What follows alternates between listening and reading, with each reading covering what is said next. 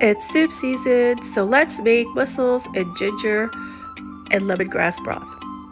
We're going to start with sauteing chopped garlic, one medium onion, and two inches of sliced ginger.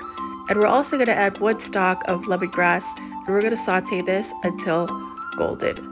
Once this is finished sauteing, we're going to clean uh, mussels, about three to four pounds of mussels, and you could uh, learn how to clean mussels in my other YouTube video on mussels and wine sauce.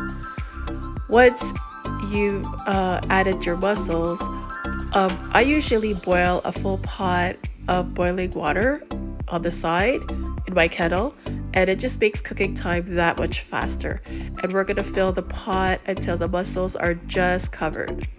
We're gonna season this with one teaspoon of Himalayan salt, two tablespoons of fish sauce, and one teaspoon of black pepper.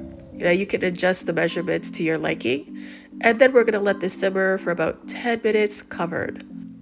After simmering with the lid on, as you can see, the mussels have all opened up.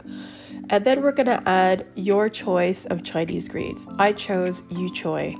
Um, I like the flavor of this. It's not too bitter and it cooks fairly quickly, about three to five minutes with the lid on.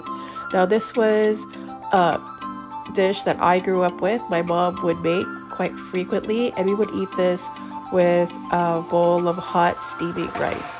You don't have to, you can eat it on its own. It's quite flavorful, it's filling, and not too filling though, it's pretty light. I hope you try this and enjoy. Like and subscribe.